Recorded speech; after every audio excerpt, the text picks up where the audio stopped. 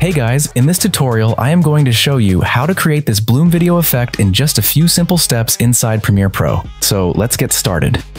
Alright, as you can see on the timeline, I have got a stock footage. You can use any footage that you like. First of all, we have to create a new adjustment layer inside the project panel. Here, we have to accept the same settings as the sequence. Next, click on OK. Now we can drag this adjustment layer from the project panel over to the timeline and place it on top of the video clip. And then, let's move over to the effects panel to apply a brightness and contrast effect. Now let's drag and drop the brightness and contrast effect onto the adjustment layer. After that, we have to apply another effect. This is a directional blur effect. Next, we have to apply a Lumetri color effect. Let's drag and drop the effect onto the adjustment layer. And lastly, let's apply another effect. This is a lens distortion effect. Let's drag and drop the effect onto the adjustment layer. After that, move over to the Effect Controls panel to customize all the effects.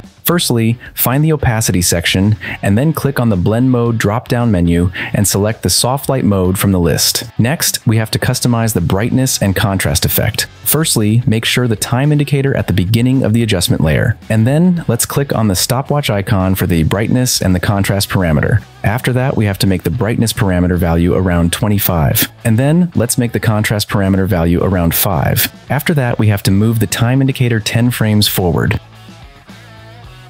Next, we have to make the brightness and the contrast parameter value around zero by clicking on this reset icon. Now let's select all the keyframes and right click on it. Then we have to select Auto Bezier. Again, we have to move the time indicator 10 frames forward. And then let's copy these keyframes and we have to paste them here. Again, we have to move the time indicator 10 frames forward. After that, let's paste the keyframes again. We have to do the same thing to the whole adjustment layer.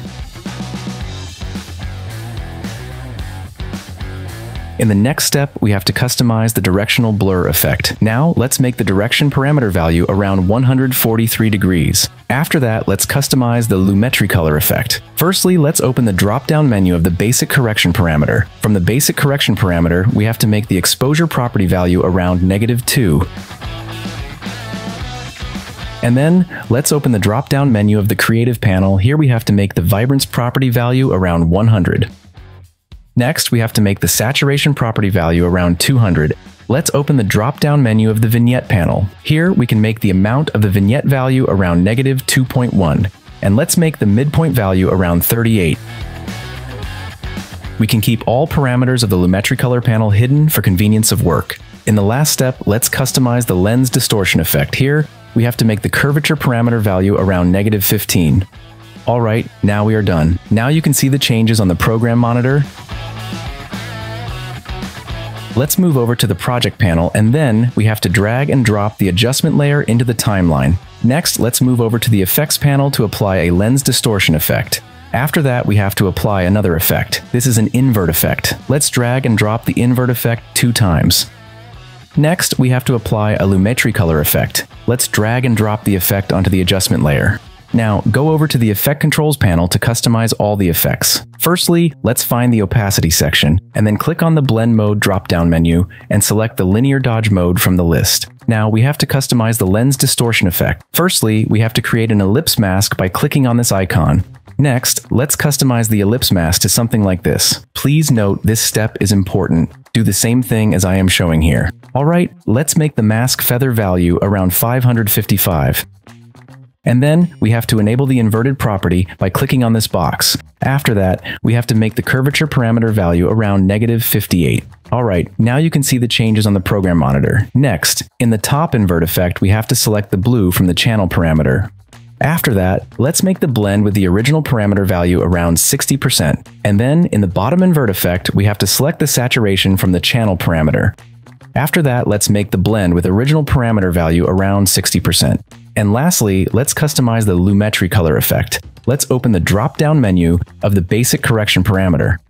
Now we have to make the exposure property value around negative 3, and then we have to make the highlights property value around 100. After that, let's make the whites property value around 100. And lastly, let's open the drop-down menu of the vignette panel. Here, we can make the amount of the vignette value around negative 0.8, and let's make the midpoint value around 26.6. After that, let's make the feather value around 100. Alright, now you can see the changes on the program monitor. Again, let's move over to the project panel, and then we have to drag and drop the adjustment layer into the timeline. Now go over to the effects panel to apply a Lumetri color effect. Next, we have to apply another lens distortion effect. Let's drag and drop the effect onto the adjustment layer. Let's move over to the effect controls panel to customize all the applied effects. Firstly, find the opacity section and then click on the blend mode drop-down menu and select the linear dodge mode from the list. Now, in the opacity panel, we have to create an ellipse mask by clicking on this icon. Next, let's customize the ellipse mask to something like this. Please note this step is important. Do the same thing as I am showing here. Alright, let's make the mask feather value around 637. And then we have to enable the inverted property by clicking on this box. After that, let's customize the Lumetri color effect. Let's open the drop-down menu of the basic correction parameter. Now we have to make the exposure property value around negative 6. And then from the lens distortion effect, let's make the curvature parameter value around negative 9. In the next step, again, let's move over to the project panel, and then we have to drag and drop the adjustment layer to the timeline. Now, go over to the effects panel to apply an invert effect. Let's drag and drop the invert effect onto the adjustment layer two times. Let's move over to the effect controls panel to customize all the applied effect. Firstly, find the opacity section and then click on the blend mode drop-down menu and select the screen mode from the list. Now, in the opacity panel, we have to create an ellipse mask by clicking on this icon. Next, let's customize the ellipse mask to something like this. Please note this step is important. Do the same thing as I am showing here. Alright, let's make the mask feather value around 682. After that, let's make the mask expansion value around 162. Next, in the top invert effect, we have to select in phase chrominance from the channel parameter. After that, let's make the blend with original parameter value around 60%. And then, in the bottom invert effect, we have to select the quadrature chrominance from the channel parameter. After that, let's make the blend with original parameter value around 30 to 60%. Alright, now we are done. Now you can see on the program monitor, the bloom effect creation is complete. By following these steps and incorporating the optional enhancements, you can create a dynamic bloom video effect inside Premiere Pro that will elevate your video editing projects. I hope you enjoyed the video. If you did, like the video and leave a comment.